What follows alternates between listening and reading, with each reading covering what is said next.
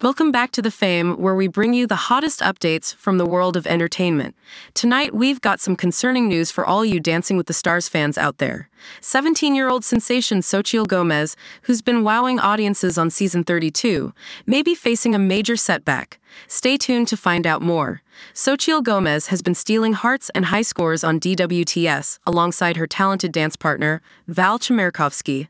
Their journey has been nothing short of remarkable, with fans rallying behind them week after week. However, just before the highly anticipated music video night, disaster struck. Xochitl suffered an injury during rehearsals, sending shockwaves of worry through her dedicated fan base. The young actress, who has defied expectations as the season's youngest contestant, quickly became a frontrunner for the coveted Mirror Ball trophy. But can this unexpected injury jeopardize her chances? Xochitl herself took to TikTok to share a glimpse of the incident, captioning her post with, This she is bananas, I am good though, a lil sprain but we workin'. In the video, she attempts a cartwheel, but it becomes painfully clear that something went wrong.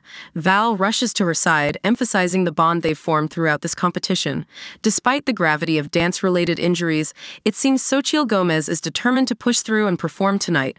Fans voice their concern in the comments, but it appears that the show must go on as long as there are no further surprises. I'm good. I will be there tomorrow and we ballin, Xochitl assured her followers. Just got an x ray, no chips, no break, just a little sprain. Her resilience shines through once again. This sprain comes on the heels of another injury during last week's Monster Night, where Xochitl and Val delivered a stunning contemporary routine. Even though she had to be carried up to the skybox to receive their scores, they rallied on and even secured five bonus points in the dance marathon segment. Xochitl's tenacity knows no bounds. In her own words, it's just my own mentality.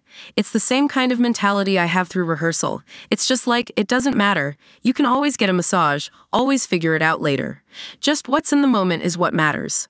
So, are you as excited as we are to witness Xochitl and Val's performance tonight? If all goes according to plan, they will be taking on a jazz routine to Gwen Stefani's iconic hit, Holla Girl. Be sure to tune in to Music Video Night at 8 p.m. Eastern Time, and don't forget to cast your votes to support your favorite duo. The Fame will be here to keep you updated on all the latest Dancing with the Stars news and developments. Stay tuned.